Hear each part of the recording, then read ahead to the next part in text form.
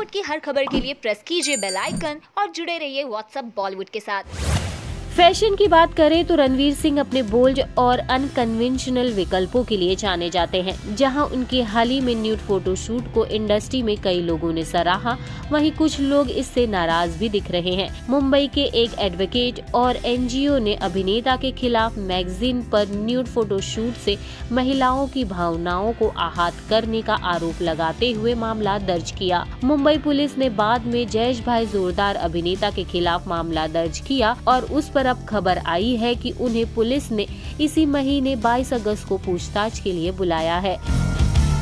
हाल ही में रिपोर्ट से पता चलता है कि रणवीर सिंह को उनके पेपर मैगजीन के न्यूड फोटोशूट के संबंध में पूछताछ के लिए अधिकारियों द्वारा बुलाए जाने के बाद पुलिस स्टेशन जाना पड़ेगा। एक एनजीओ द्वारा चेंबूर पुलिस स्टेशन में मामला दर्ज किया गया था, जिसके बाद पुलिस ने इंटरवीन करने और कार्रवाई करने का फैसला किया। रिपोर्ट में कहा गया कि उक्त पुलिस स्टेशन के अधिकारियों को भी अभिनेता के घर पर भेजा गया, ताकि उन्हें जाँच के दौरान सहयोग करने के लिए नोटिस भेजा जा सके, लेकिन बताया गया कि वह शहर से बाहर है।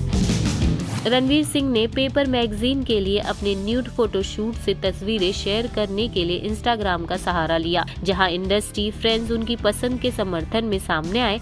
वहीं एनजीओ ने अभिनेता के खिलाफ महिला भावनाओं को ठेस पहुँचाने और महिला की शील भंग करने का आरोप दर्ज किया। उनकी शिकायत के बाद मुंबई पुलिस ने अभिनेता के खिलाफ एक्ट 292, 293 और 509 के तहत एफआईआर दर्ज की। उनकी शिकायत के बाद मुंबई पुलिस ने अभिनेता के खिलाफ अंडर सेक्शन 292, 293 और 509 आईपीसी के अलावा section 67 A information technology act भी लगाया।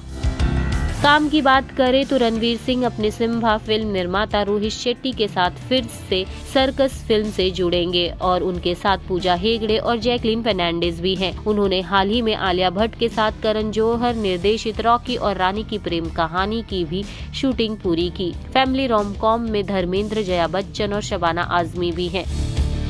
आप इस स्टोरी के बारे में क्या सोचते हैं, हमें कमेंट कर ज़रूर बताएँ। और बाकी खबरों के लिए बने रहें व्हाट्सएप बॉलीवुड के साथ।